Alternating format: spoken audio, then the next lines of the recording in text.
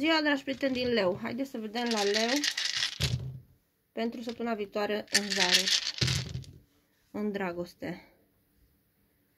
Uida ce vă urmărește persoana asta.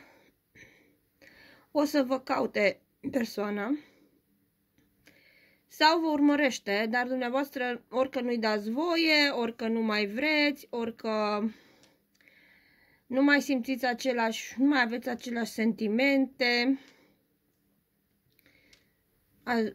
v-ați răzgândit sau ați vrea să vă răzgândiți, să nu mai simțiți aceleași lucru pentru această persoană, dar vă mai spun o dată că sunteți în destin cu această persoană, deci ca și când este soarta dumneavoastră această persoană, suflete pereche.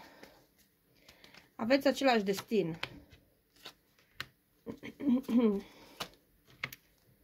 terminați cu o persoană, terminați cu o persoană, să știți. Sigur, sigur, și dumneavoastră terminați și dumneavoastră plecați din viața acestei persoane. Asta poate să fie mai târziu, dar și poate fi pe neașteptate, nu neapărat că plănuiți, poate nu plănuiți, dar plecați. Este pe neașteptate totul unele persoane aveți ceva ne, uh, neplăcere în această relație de, de prin primăvară. Martie. Acea persoană a făcut ceva și uh, sau vă critică foarte mult sau vorbește, nu vorbește bine, frumos și luați o decizie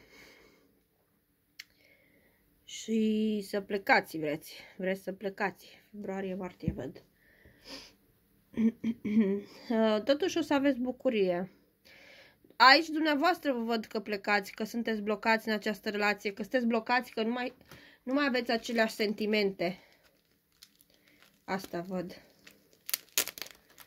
Cam asta a fost pentru leu. Vă mulțumesc și vă aștept la un nou video.